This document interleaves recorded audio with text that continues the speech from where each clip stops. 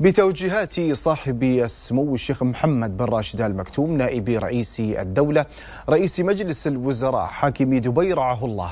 وضمن أعمال اللجنة العليا للتنمية وشؤون المواطنين برئاسة سمو الشيخ حمدان بن محمد بن راشد آل مكتوم ولي عهد دبي رئيس المجلس التنفيذي رئيس اللجنة. اعتمد سموه الرؤية الجديدة لتخطيط وتصميم وتطوير الأحياء السكنية النموذجية والتي تغطي مرحلتها الأولى ثلاثة مناطق سكنية وهي المزهر الأولى والإخوانيج الثانية والبرشا الثانية.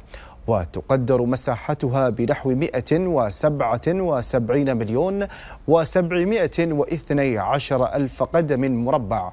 جاء ذلك خلال استعراض سموه مستجدات خطة تطوير الأحياء النموذجية للمواطنين في إمارة دبي وأهم المستهدفات خلال المرحلة المقبلة بهدف رفع جودة الحياة في الأحياء السكنية وتوفير فرص اقتصادية لأبنائها.